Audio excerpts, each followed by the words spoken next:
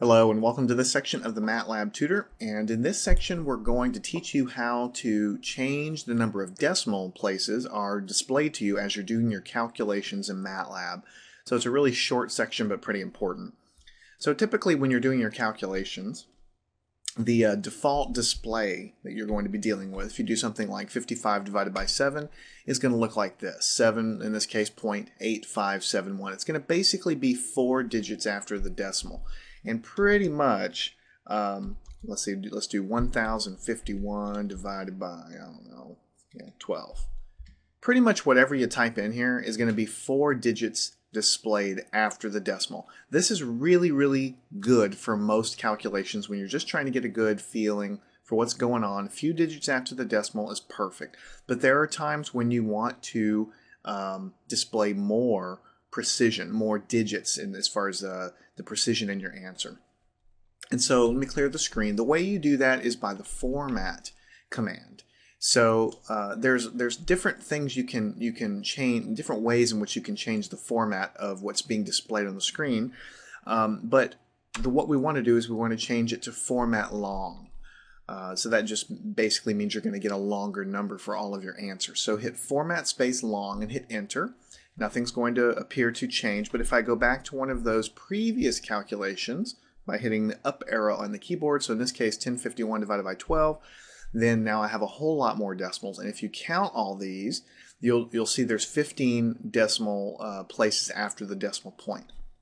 So no matter what I do, even if it's, you know, uh, 7 eighths, I'm going to basically get a lot of padded zeros because this is an exact this is an exact decimal answer. Let's do something like one half. You see what I'm talking about? 0.5. It's going to pad the answer with as many decimals as needed to get to 15. Um, now, of course, if you, you, you type in something like this up here, then you're going to get, you know, non-zero decimal spots here. Now, if you get tired of looking at this and you're like, okay, I did what I need, need to do, I'm going to go back to the other to the other um, format, the shorter format. All you have to do is type format space short like this. MATLAB accepts it, and now if I go back and do one of my previous calculations like 1 half, then it'll be 0.5 with just a few zeros for a total of 4 decimals. If I go back with the up arrow and hit one of my uh, other calculations, 1051 divided by 12, then I'll just get the 87.583. So format short, format long, that's all you need to remember. That's really very, very common. Now one thing I want to point out to you is when you change the format with format short, format long, you're not really changing how MATLAB does the calculations. In other words, when I'm in the short format, you know, I only get an answer of 87.583. MATLAB still contains internally when it does the calculations the entire full precision of this of this math answer. So in other words, when it gets the answer, it gets the full answer you know, in your calculations. It's just displaying fewer digits to you. So you don't have to worry so much about giving up precision in your actual calculations when you when you do format short and format long because MATLAB's using the full arithmetic to do all the math. It's just displaying more digits to you here and it's displaying fewer digits uh, uh, there. So it's giving you more digits or less digits depending on what you want. Personally, I like to leave it in short format um, because it's just fine for me. But if you need more digits, then you just go to go to format long. Now let me also teach you about another format command, and that is format short ENG. ENG stands for engineering notation. So short ENG. So we go ahead and hit enter. Now if we do a calculation, let's do, you know, uh, 8 divided by 3. Let's see. Something we know we're going to get a decimal. Hit enter. Now the answer is not just a decimal, it's really in engineering notation or scientific notation. Um, well, engineering notation is a little bit different from scientific notation. I'll teach you what that is in just a second. But basically, you've got a decimal times 10 to the, in this case, to the power of 0, which is just going to give you 1, because this is a simple uh, guy here. But let's go up and do something like 2057 divided by, you know, I don't know, um, 12, something like that. Well, let's go ahead and do it smaller. Let's do divided by 3. Now you can see in this case, the first computation, MATLAB gives us the decimal point after the first digit. Uh, in the next case, we get the decimal point after the third digit, and in the third case, we get the decimal after the third digit. So scientific notation is typically when you put the decimal after the first digit. What MATLAB's doing here is it's trying to give you an exponent that's going to either be 0, 3, 6, or 9. Let me give you a better example of that. Let's do um, 3 times 300, something like that. That gives you 900 times 10 to the 0. Let's do 3 times 500. Okay, so it jumps from 900 times 10 to the 0 up to 1.5 times 10 to the 3. And if we keep going up here, let's do 800. And we're going to get 2.4 times 10 to the 3. Let's do times 1500, like this. And let's just keep on going up to, let's say, 6,000, like this. 18 times 10 to the 3. And if we choose some really large numbers, let's do, you know, 1800 times 6,000, uh, then what we're going to get is it's going to jump up to 10.8 times 10 to the 6. So no matter what calculations you type in, you're going to get a uh, you're going to get an answer that's going to be either times 10 to the 0 times 10 to the 3 times 10 to the 6 this is what we call engineering notation. It's it's doing it in multiples of 3 because that's basically the metric system. You know times 10 to the 3 would basically be your kilometers. Times 10 to the 6 would be you know 3 more than that and so on. So it just depends on what you need. Now if you need if you need um, even more precision than what you're seeing on the screen there you can do format ENG, I should say long ENG. Instead of short ENG, it's long ENG. Now let's do the same calculation, 1800 times 6,000. Then we'll just get more decimal places. A better example might be something like, um, you know, 8 divided by, you know, let's just type, let's just divide it by a very large number like this. So we're going to get a super small answer. And so we're going to get is 152.51 blah blah blah times 10 to the minus 12. So it goes the other the other direction as well. You're getting multiples of 3. So you're going to get 10 to the minus 3, 10 to the minus 6, 10 to the minus 9 or 10 to the minus 12. So it's not really scientific notation, it's engineering notation. The exponents are going to basically be a multiple of 3.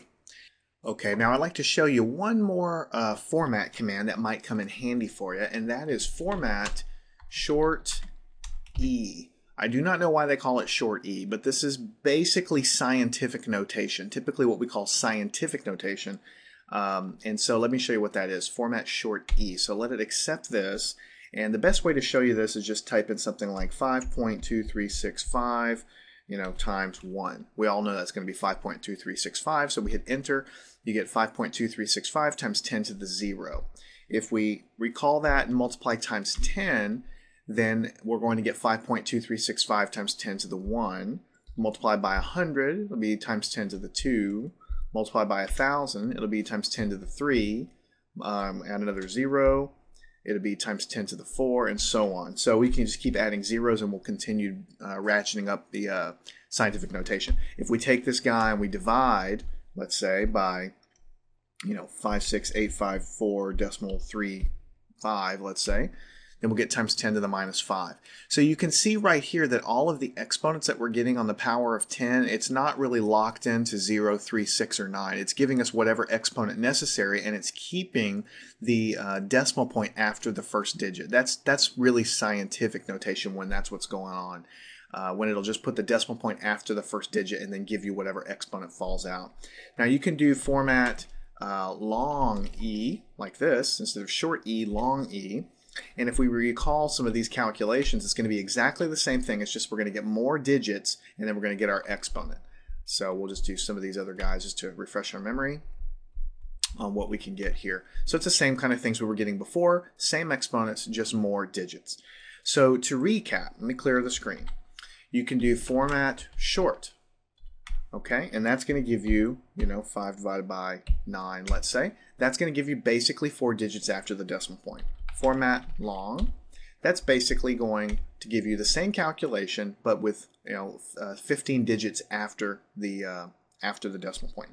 We can do format short ENG for short engineering. When we do calculations like this, basically we're going to get a number. The decimal point is going to be put wherever it needs to go to give us an exponent that's multiple of 3. So 0, 3, 6, 9, 0, negative 3, negative 6, negative 9, and so on.